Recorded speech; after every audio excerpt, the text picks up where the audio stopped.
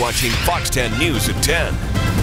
After filing for Chapter 11 bankruptcy protection two months ago, Chrysler employees, they're going back to work. Production is resuming on assembly lines for the first time since late April at seven locations throughout North America. Two plants will reopen later this month in Michigan and also one in St. Louis, another in Toledo. All of Chrysler's plants will shut down for traditional summer retooling, though, beginning next month. And new tonight, that last story is something we haven't heard much lately, right? Good news about the car business. With a struggling economy and people losing their jobs, cars, they just aren't selling like they used to. But even though times are tough, the best known car dealer in the Valley is not pushing the panic button. Tex Earnhardt and his son Hal, they see better days ahead. He made his fortune in horsepower, and at 78 years old, horsepower is still how Tex Earnhardt gets his kicks. And watch out, this hobby is no joke.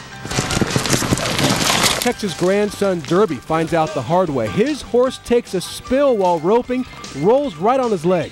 He limps away, but he's okay. You gotta be tough to be an Earnhardt, especially these days, right? As the once high flying Valley auto business has nearly stalled out. We worked all our lives going up this mountain, you know, and it seemed like overnight we dropped off the other end. Tex started his car business in Chandler back in 1951 when he was just 21 years old. His company literature says he's still the youngest person ever to be given a Ford dealership. Took advantage of the opportunity too, big time, growing his business over the years to become one of the top auto dealers in the country. Howdy, folks. Since 1951, the Earnhardt family's been selling cars and trucks. His That Ain't No Bull commercials became part of the Valley's cultural landscape. In 2006, Earnhardt says it had revenues of nearly a billion dollars. And to put that in perspective, our sports department pointed out that's more revenue than was generated that year by the Cardinals, the Suns, and the Diamondbacks combined. You won't hear Tex talk about that, though. We're just common folks. We put on our pants one leg at a time. Earnhardt's is still a true family business. Tex's son Hal, who's pretty handy with a rope and a steer, and has been since he was just a kid, is the company's president. Tex's other son, Jim Babe, is the treasurer. Grandsons Dodge and Derby. Don't put me on the spot, man. they also help run things. And they all seem to have fun at work. Yeah, do you know what a muskrat looks like? Just look at the top of his head. But there hasn't been much to laugh about lately in the car business.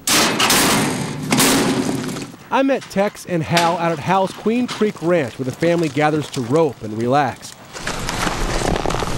What of them?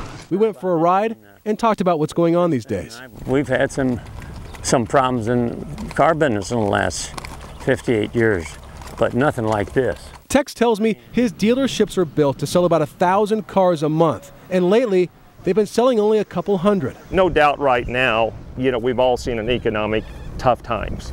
And it's, uh, it's made it tough on the whole industry. It's made it tough on Phoenix. It's made it tough on, you know, it affects everybody. Both men see the Valley's housing and credit collapse as the root of their problems, and in everybody else's right now. Thousands and thousands of layoffs, they aren't helping either. But you don't build a company like this by being a pessimist. I mean, we got all the stars aligned. The Earnhardts know they, like everybody else, have to ride this recession out. People are going to buy cars again and houses. And maybe we should all round up some of the Earnhardt optimism. Perfect, perfect, perfect. You got to quit feeling sorry for yourself. If you've got good health, your wife and your children, and the sun's shining, you know, get up off your dead ass and get on your dying feet. You know, that's that, that's my theory. And uh, if that ain't true, I don't know what would be true. We got sunshine here. You know, we love it. It's like you and I have been able to ride right here. We're not in snow and ice. I don't have anything against anybody else or anywhere else, but this you can't beat. And so Phoenix will always stay strong, and our, and our nation will come back strong.